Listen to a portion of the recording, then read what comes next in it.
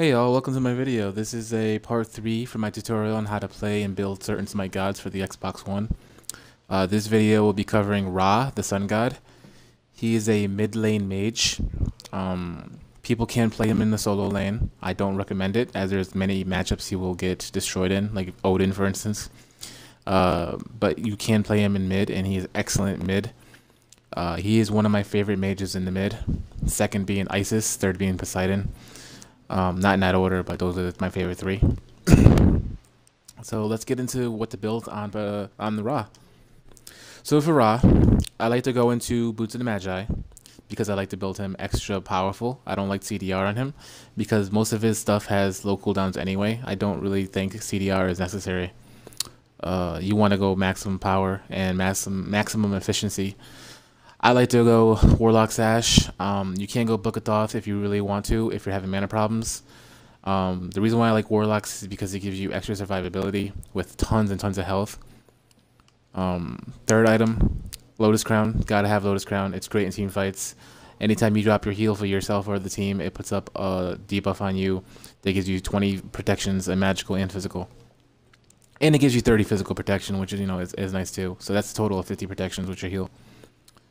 Fourth item, Spear of Magus, because Flat Pen is better than Obsidian Shard.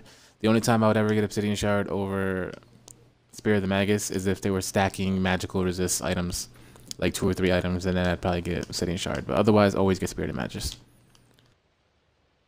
Okay, this one is tricky.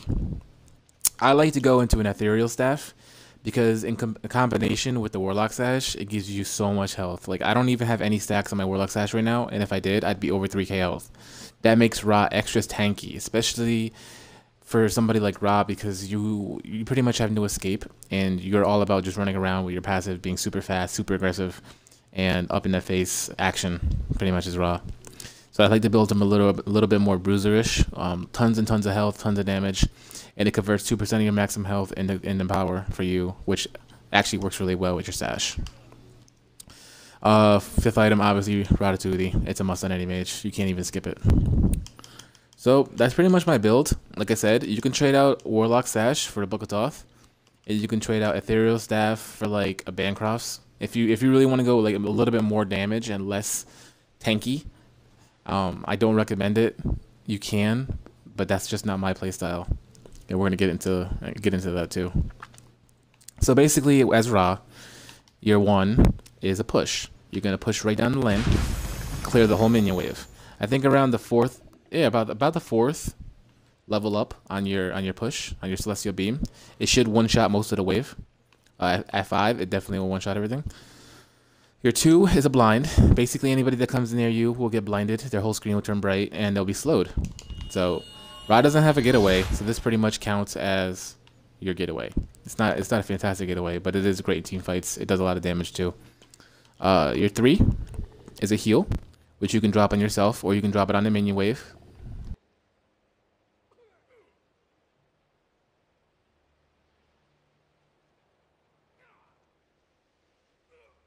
basically, what I like to do is Ra is I like to drop down the the heal on the wave, which heals your minions and damages the enemy, and it makes it really hard for their mid laner to push your lane, especially when you're playing aggressive. You drop the heal on your wave, and then you push the wave, and it pushes them back to their tower, and that's what it you want to do. That's that's one of the strengths of Ra is really really nobody beats him in the lane. Nobody beats him in the lane. Um, so basically, like I said, you drop the heal on your wave, you push the wave, get the healing going. Any kind of damage or poke you take, you get healed up to full, and that's great. Um, the way I like to play Ra is I like to play him aggressive. I like to get up in the mage's face. So drop the heal, butt up lined up. He's gonna be slowed, and you just go up in their face. You hit him with that. Um, you could also play extra aggressive and get rid of the you can get rid of the ethereal staff and pick up a gem of iso, which stacks with your slow. You're blind. It makes them run super slow, and it's easy to hit your ult that way. You pretty much, you know, you're gonna blind them, and then you're gonna all on top of them. I don't recommend doing that because any good player will probably try to juke you. Um, really fun against noobs because they don't know how to juke and they'll probably die and you'll like one shot them. So it's pretty nice. So, advanced tactics Ra. is. Let's go back to the fountain real quick. I just need to buy some actives. I did. I, I gotta have to go over the actives that you need.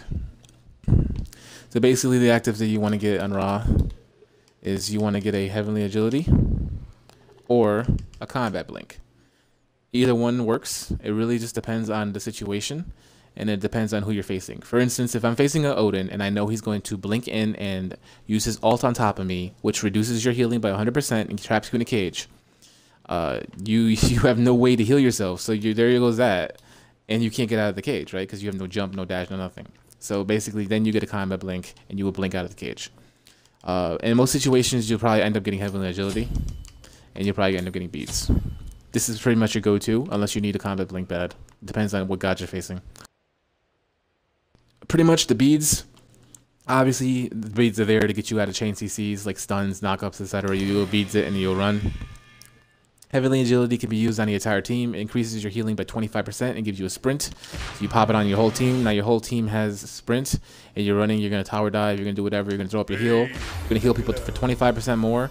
So with Heavenly Agility pop, you're probably going to heal like a 150 to 175 per tick. And it's going to heal a crap ton on your team. And it is great in team fights. I highly recommend it. So Ra, like I said, he, he's more of a support type of mage he's not the kind of mage that you know just goes in there and just destroys everybody. He plays from the back, the back line. You sit way in the back, like well, most mages do anyway. But you sit way in the back and you try to hit people with your you know, with your thing. And then you try to heal your team up, put the debuff on them so that they get the protections and everything, and they're getting heals. Anytime you see an opportunity, like if somebody gets stunned, say a Thor goes in with an ult, he hits two people, you're gonna ult right on top of the stun, and you're gonna get a, a nice sniping. And and that's the point is you wanna you wanna kind of build a comp around Ra. He needs a little bit of assistance with his ult. You can try to aim it, but people try to juke it pretty easily, so I wouldn't recommend trying to aim it and shoot it. You can if you want to, but you're probably to waste it unless you get lucky. You need somebody to, to build it up for you, like a Hades ult or a Thor ult or a Thor stun with his hammer. Uh, just just anybody that really has a stun. A Sylvanus knockup does well. Uh, Geb stun does well. Anybody that can set up a, a snipe for you. Also, one of the best parts about Ra is with the upcoming meta change where Hog is no longer needed on people. Um, is actually really good at sniping objectives, like the Gold Furies and the Fire Giants. If you see a Fire Giant, like for instance, going down to like 10%, nobody's obviously gonna have Hog. And right when he gets to that certain threshold, see you see you see it, you see you see it, and then you just snipe it, and you're gonna hit it for like 1200 to 1300 on ult. And you're gonna you're gonna steal the objective, and and mid lane mages are gonna be known for that with the upcoming patch because they just do so much damage. Scylla's another one. Scylla can ult it. Kukulkan's another one. Kukulkan could ult it. Um, so basically, they're going to be really valued, these kind of gods, because they can actually steal objectives and secure them pretty well. But Ra will always be valued because of his heal. It's so good. It affects the entire team, and it puts up the Lotus Crown buff on, on all your teammates. He's great for pushing towers. He's great for team fights. His only problem is he's really susceptible to ganks, so you have to be careful. Uh, basically you don't want to go past the middle of your lane in laning phase. So say I'm in the middle of the lane right now. I don't want to go up by their tower, like up here, because then from the right or from the left, I can get ganked, and I don't have no blink, and I don't have no way to get out. See, they're gonna they're gonna double team me, and I'm gonna die.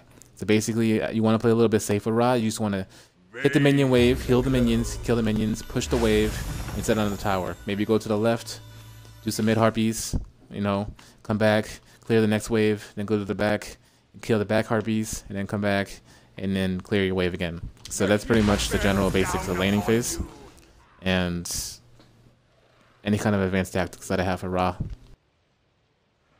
Um, yeah, so that's, that's basically it. I mean, Ra is a fantastic choice for mid. Um, just keep in mind, like I said, he has no getaways or no escapes other than blind, which isn't very reliable. So if you play him safe, he's excellent. If you try to be too aggressive or you don't play smart, you're probably going to get camped in your lane. So I would definitely recommend playing him a little bit passively. But yeah, I love Ra. He's one of my favorite mages, and I hope you like him too. And I hope you get to enjoy him and maybe use a little bit of what I said and my build and tactics. Um, I hope this this video helps you guys. If you have any questions for me, just leave them in the comment section, and I will try to re respond as fast as I can. And as always, thank you guys for watching my videos because without you, I wouldn't be doing this. And I appreciate all the support. So go ahead and subscribe to my channel if you can. And I really, really, really appreciate it. So thank you guys so much and take care.